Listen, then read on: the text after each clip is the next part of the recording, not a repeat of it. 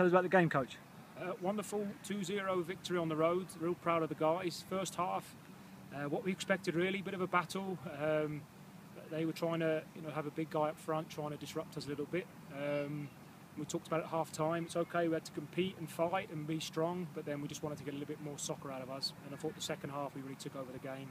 A lot more patient in our passes. Um, you know, taking four or five passes before we were looking for that entry pass rather than just looking for one or two. And uh, the goal, as a result, the goals came from that. First one was a wonderful little slip ball down the side from Willie. Juicy does what he does great, just ran onto it and uh, beat the goalie to it. And the second one, the same. So very similar on the other side this time from Luke. He just slipped it down the side between their fullback and centre back and we were able to get in.